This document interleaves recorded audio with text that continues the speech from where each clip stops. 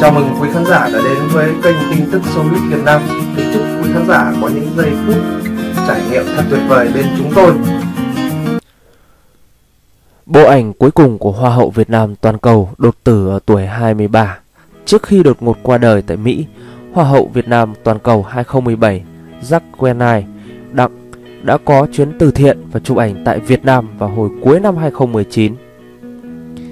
Jack Quenai Đặng Hoa hậu Việt Nam toàn cầu 2017 qua đời vào lúc 1 giờ chiều giờ địa phương ngày 8 tháng 4 tại Arizona ở tuổi 23 sau cơn đột quỵ.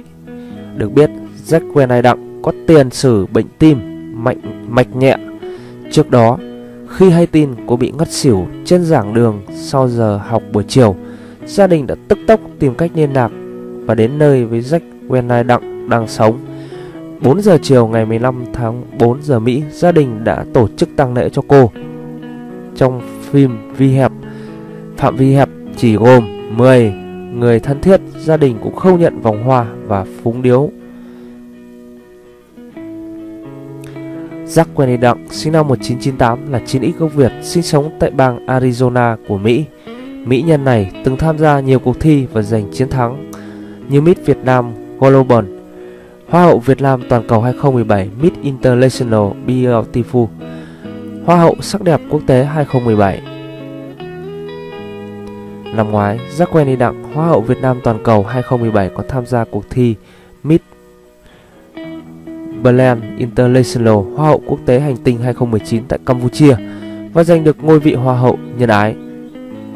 Miss Humanitation 2019 đồng thời lọt top 16 Trung Quốc. Lúc sinh thời, cô đã tham gia và tự tay sắp xếp các chuyến đi thiện nguyện vì trẻ em nghèo cơ nhỡ tại Việt Nam mỗi lần có dịp về thăm quê hương. Cuối năm 2019, Hoa hậu Việt Nam toàn cầu 2017 đã từng về Việt Nam làm từ thiện và tham gia phỏng vấn cho các chương trình mốt và cuộc sống của một đài địa phương và tham gia chụp hình với những bộ áo dài tuyệt đẹp của Việt Nam.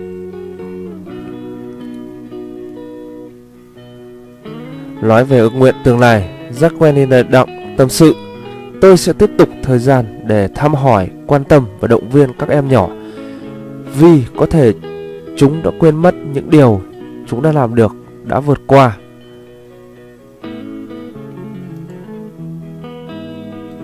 Cảm ơn quý khán giả đã theo dõi video clip. Nếu hay, quý vị hãy à, chia sẻ và đăng ký kênh để ủng hộ kênh càng ngày càng phát triển. Xin trân trọng cảm ơn quý vị rất nhiều.